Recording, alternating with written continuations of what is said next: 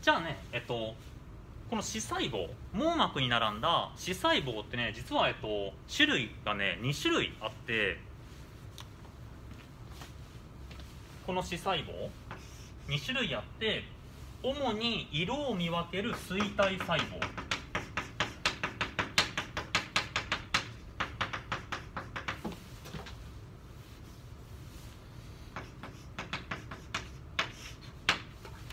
と薄暗いとこでよく働く肝体細胞。この2種類があるんですよ。だけどじゃあこの2種類が均等に分布してるのかなって言ったらそうじゃなくて、えっと、僕たち、えっと、こう何かに何か物を見ようとした時に光がこうまっすぐ入ってきてでここに当たる。でこのねこうまっすぐ入ってきた光が当たるところは特別な構造になっててここをね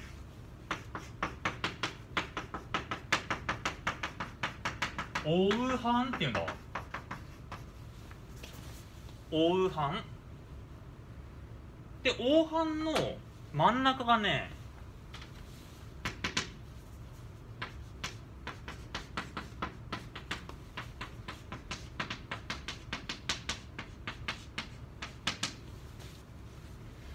この黄斑の真ん中がね少しへこんでてそのへこみのことをね中心化っていうんですよ。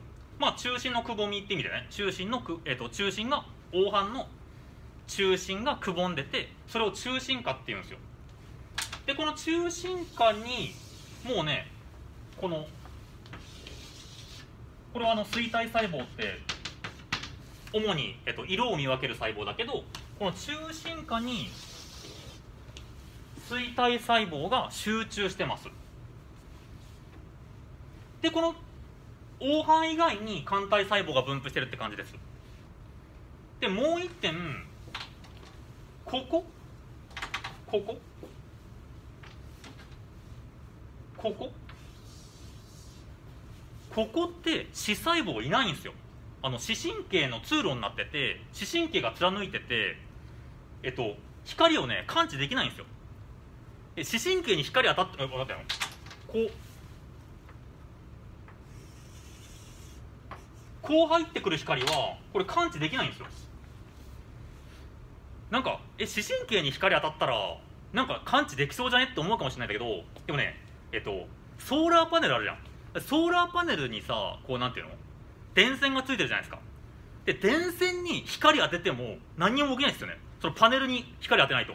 同じように視細胞がソーラーパネルなんですよ。光の情報をキャッチするんですよ。でそっからつながった神経があこれこれこれあの視神経の通路ね。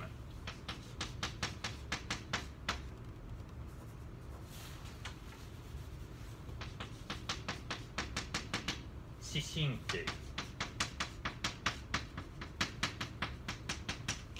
その視細胞から伸びた電線みたいなものが脳へ伝わる。脳へこう信号を伝える。電線みたいなものが視神経で視神経自体に光当ててもここには視細胞がいないんで視神経はあるんだけど視細胞いないんでソーラーパネルの視細胞いないんで感知できないんですよ。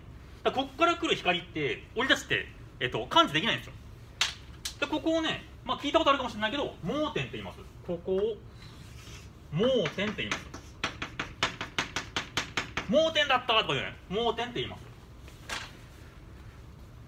嘘やんね。そんなそんな点ないよってもちろん個人差あるんだけどそんな点ないよって思うかもしれないけど例えばえっとこう指？自分のこうあの、まあ、な慣れないと慣れないとあれなんだけどこう片目つぶってでこう指の爪の先見てある。指指の爪の先を見てでもう一方の指をこうずらして片目つぶなきゃなんだよ。これあのね普段この盲点を感じさせないようにあの2つの目が補い合ってるんでこう片目つぶってでこの爪の先を見てでもう一本の爪の先をここずっとこのこっちの指をずっと見たままもう一本の爪の先をこうゆっくり横にずらしていくとあるところでこっちの指がね消えるんですよ。今俺えっと俺から見て俺の左手の爪の先見えてないんですよ。マジで何にもだから指がね途中で消えてる感じなんですよ。でこうしていくとまた映ってくるんですよ。これこれ見えてるの。だけどこれも見えないの。でまた見えてくるの。これあの光こっから入ってくる光がちょうど、えっと、盲点に当たって見えなくなってるんですか？わかんないわかりにくいかもしれないけどね。あのあのまあまあえっとこれがね目の全体像です。